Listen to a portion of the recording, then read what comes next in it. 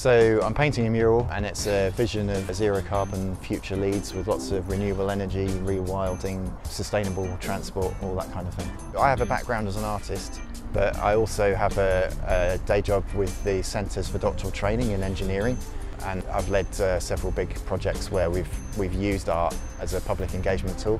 So in this picture we show a lot of well-known landmarks of Leeds, but around that we show concepts for rewilding, electric transport. We've got trams, wind turbines on the skyline, layers of buildings with um, greenery, green roofs, grassy roads that soak up water, makes it more flood resilient. People doing urban farming, growing a lot of their own produce locally. It's definitely a possible future and you know we have no choice, we have to aim for this.